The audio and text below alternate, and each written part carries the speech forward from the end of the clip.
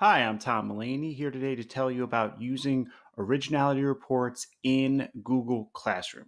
So, originality reports, you sign up for the beta, and then every time you create an assignment, you check a box and it will run originality reports.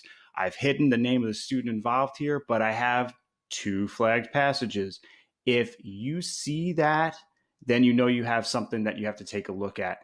The default is no flagged passages, and that's usually what I see. So not much to show there. But if there's some sort of issue with not citing or just copying and pasting from the web, you will see that. So let's take a look at what happens. So I will click two flagged passages.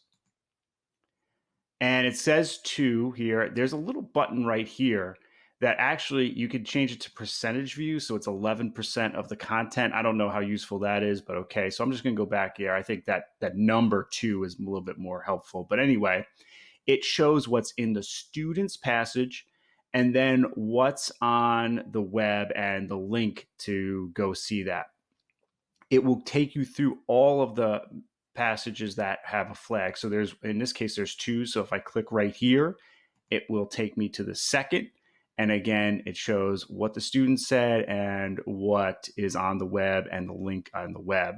And also take note, it does say no cited or quoted passages. So if the student is copying and pasting, but then you know, cite, you know, citing it or quoting it, then that shouldn't be flagged. Although there's a little button here to show cited or quoted as well. So anyway, as a teacher, this couldn't be easier. It's so simple, and it shows you exactly where it's coming from on the web. So that is really really nice.